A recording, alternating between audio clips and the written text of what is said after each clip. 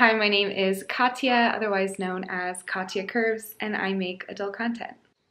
I've been making adult content on OnlyFans for a few months now, um, and within my first 30 days, was able to make it into the top 3.9% of creators. Now, I don't want to get everyone too excited. Those numbers definitely ebb and flow over time depending on how much you put into it. But I will say I have learned a thing or two, and I'd really like to share that with you all and talk a little bit about how I got started.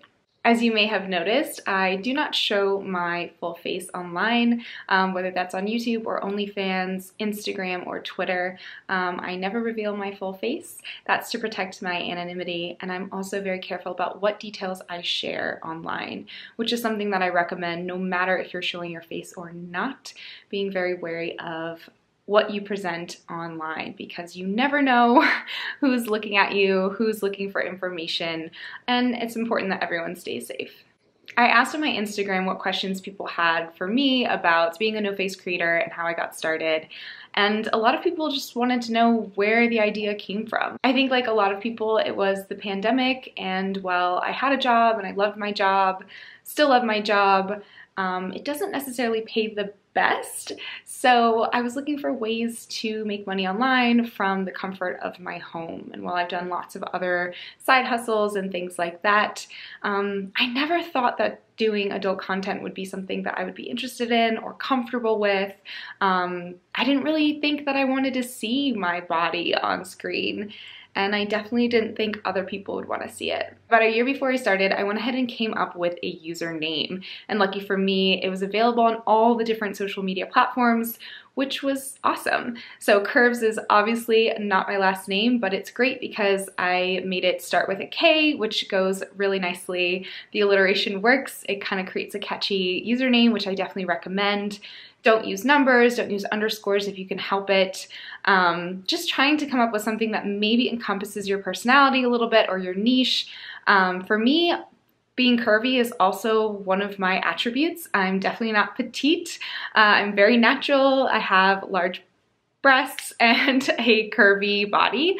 So it worked out really well for me that that's the username I came up with. So the different platforms that I created for myself were Reddit, Twitter, and Instagram. So I have those three social media platforms in addition to my OnlyFans page and I started there first. So while it is important to get content on your OnlyFans, and you should get some up there because then when a user goes and clicks on your profile, they can see the number of posts and the amount of media that you have on your page. And you wanna make sure that it's something worthwhile enough for people to subscribe to.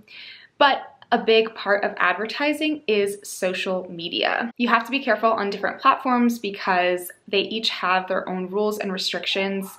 Reddit was very useful um, in finding information about how to promote your OnlyFans account, as well as just tips on doing OnlyFans, and I still constantly read different forums and subreddits on that site so that I can get new ideas, understand pricing, and just keep up to date with anything new that's going on. So I started with lingerie and I got just some cheap lingerie to start with from Shein, which is something that a lot of people use. And I just started playing around, taking photos. I have a tripod, I have a camera, and I have an iPhone 11. So between those things, I was able to make some pretty good photos. And to my surprise, I really, really enjoyed making the content. This is key. If someone does not enjoy making it, does not feel good about themselves, does not look like looking at themselves, you will most likely burn out. So this was kind of a test for me. Let's take some suitable for work-ish, suitable for Instagram photos, see how I felt about it, see, you know, if I felt empowered, if I felt gross.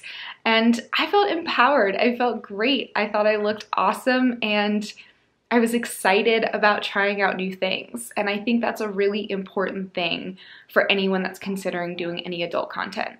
You can start small. Start with lingerie pictures or start with whatever you're comfortable with, and you can work your way up to different things. Someone asked me what my most favorite and least favorite things about doing OnlyFans is. I think my most favorite thing, aside from the obvious financial benefits, are that I feel really good doing it. I feel like I've awakened some parts of me, my sexual side, my sensual side, and I've developed a better appreciation for my body and the way that I look. And that's something that is invaluable to me as a young woman. I think my least favorite thing about it is just the amount of people who try to give you a hard time. You know, it, it's something that I think you need to develop a thick skin for. If I was, you know, 18 year old Katya, I could not handle the amount of negativity. I think that's something I've developed over time and with practice and good therapy and good coping mechanisms. People's negative comments don't really get to me in the same way that they probably would when I was a younger person.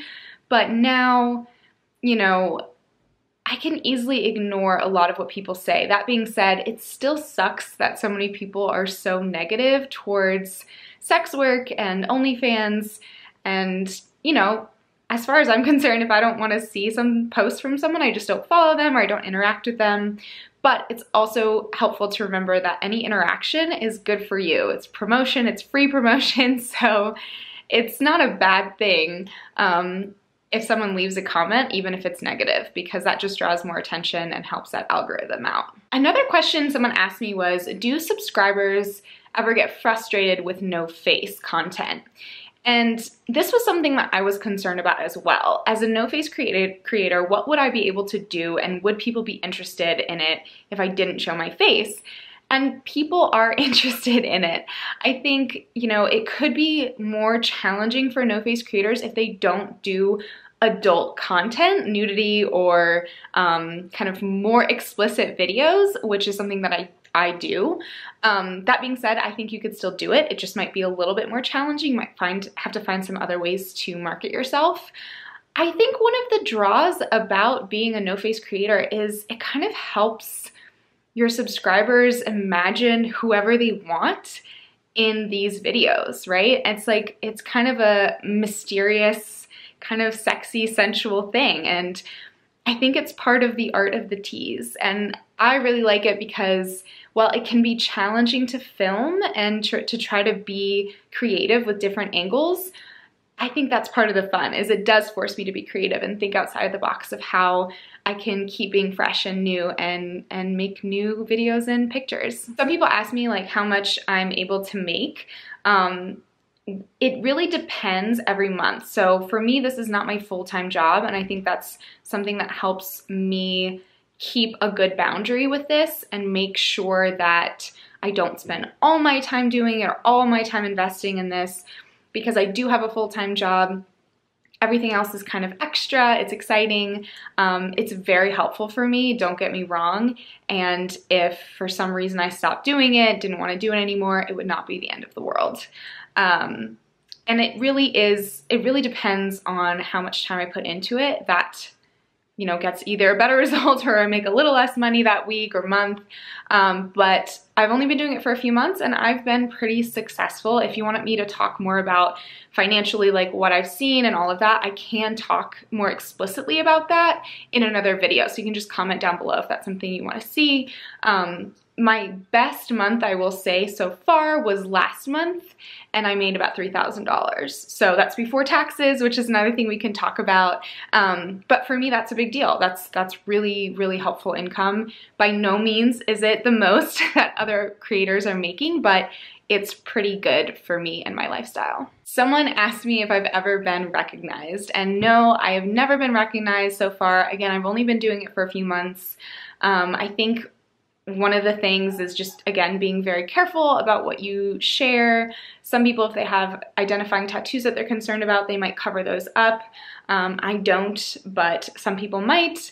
Um, I also geo-block anyone from my home state so that I don't accidentally see them as a subscriber. They don't accidentally see me. Um, and that's a feature that OnlyFans offers, as well as some other platforms and things. So that's something to consider as well if you're concerned. So that's all the questions that I had, and I just wanted to start with a little bit of an introduction of how I've been doing it, why I've been doing it, and if you want me to answer any more questions, you can leave a comment down below. If you're curious about starting an OnlyFans, um, I definitely encourage you to do it. You can always just make the screen name, make the username, make your platforms now, and think about it. And that's what I did. And I did tons and tons of research um, before I really committed, but at least I had it there ready to go um, for if I decided to use it.